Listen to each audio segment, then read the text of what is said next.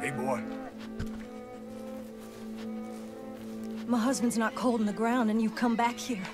Archie, I nearly paid off what was owed. Your husband knew the rules when he took that money. Now, I'm real sorry about the way things turned out. But he had a choice. Ain't my fault about the way the world is. He didn't have a choice. He was good, and he did good. There wasn't no choice in that. And you've as good as killed him yourself, and don't kid yourself. You had a choice. You speak as if killing was something I cared about. You ever wonder about eternity? You should. I hope it's hot and terrible, Mrs. Downes. Otherwise, I'll feel I've been sold a false bill of goods. Now, please, give me that money.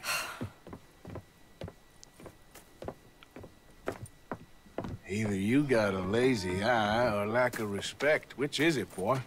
I ain't got no lazy eye. No respect for the likes of you. Well, maybe when your mother's finished mourning your father, I'll keep her in black, on your behalf. You think on that, boy? Well, maybe you shall, sir. And maybe other events will transpire. You best stick to them books, because mark my words on this. Vengeance is an idiot's game. Ah, Mrs. Downes, thank you for your punctuality. It's next to godliness, isn't it? That's cleanliness. I'll have to take your word on that. Good day.